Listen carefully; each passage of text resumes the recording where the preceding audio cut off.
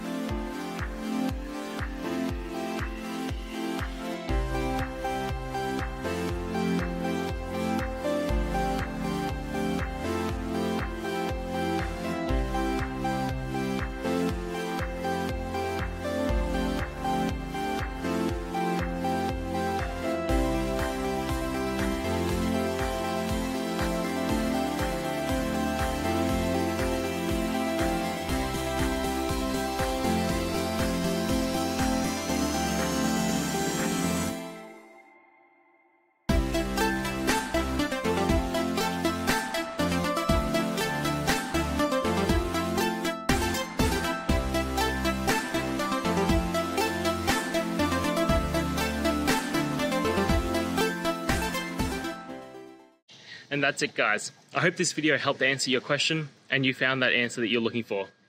Now, please hit subscribe if it helped. I really appreciate it. And I'll see you next time on another one of these videos. Cheers.